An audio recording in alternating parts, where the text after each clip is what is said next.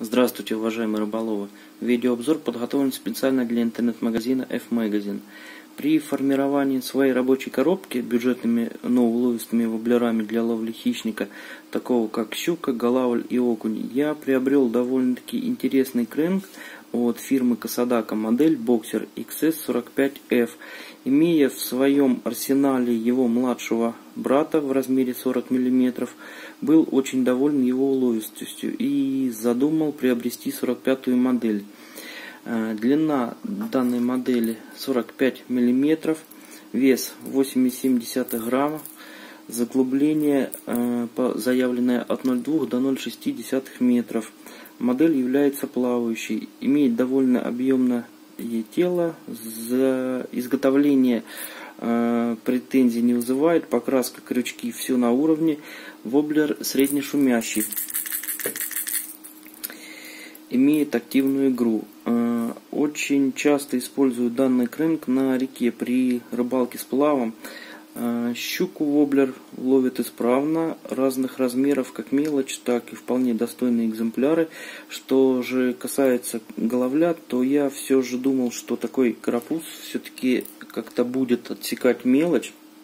Но, к моему удивлению, мелочь его очень любит и не пропускает. Э, хорошие экземпляры головля также охотно на него берут самого большого э, головля, которого я поймал на данный крэнк, был кило 400.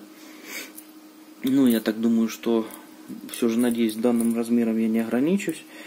Э, в приловле довольно часто встречается окунь э, разных размеров, как мелкий, на удивление, кстати, э, так и довольно-таки неплохой. Что же касается проводки, то тут все просто, как со всеми классическими кренками. Щука хорошо ловится на равномерную проводку, а также на проводку Stop and Go. Еще неплохо подходит проводка с небольшими поддергиваниями приманки, паузами.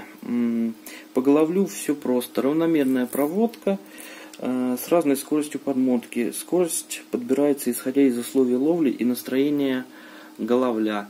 То есть, когда голавль зачастую, как многие, наверное, видели, идет за приманкой, но не атакует ее, остановка в этом случае не спасает. И следует ускорить э, скорость подмотки, и голавль начинает атаковать приманку. То есть, в такие моменты стараемся приманку вести более как-то быстро. Ну, в заключении хотелось бы сказать, что Крэнк за свою стоимость очень уловистый, э, радовал меня не раз, как по щуке, так и по головлю. По реке для конкретно целенаправленно на окуне я данную приманку не использовал. Ну, всем советую к приобретению. Э, Крэнк довольно-таки бюджетный, но очень уловистый. Все, всем спасибо, до свидания.